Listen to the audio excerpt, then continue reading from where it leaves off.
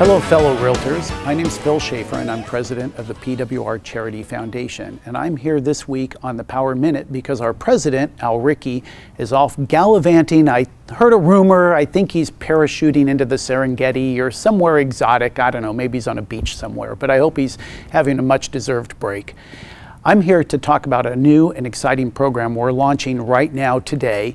Um, hosted by your charity foundation. By the way, you all own or are part of our charity foundation, and you've given generously, and we are excited to be able to do this new program. It's called Opening Doors for Men and Women in Uniform. And what it is, it's a way of us all saying thank you to veterans who have served post 9 11 and uh, served in any branch of the military.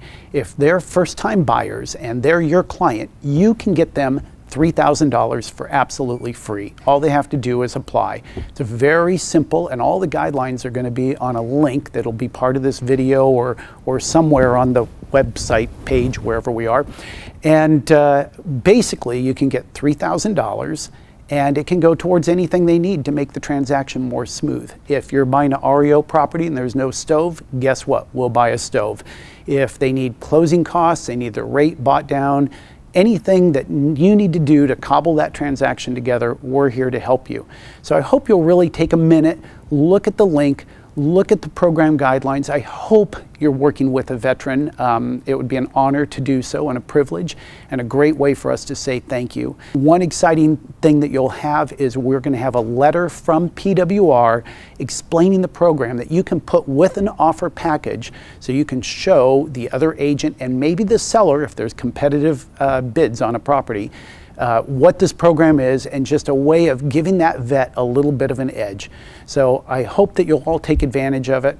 I want to say we've just finished our golf tournament a couple weeks ago. You saw me on a video a month or so ago.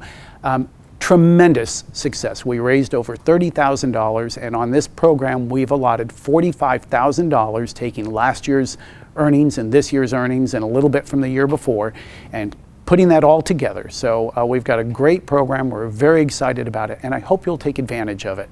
Um, again, Phil Schaefer for the Power Minute this week, and wherever Al is, have a good time, Al.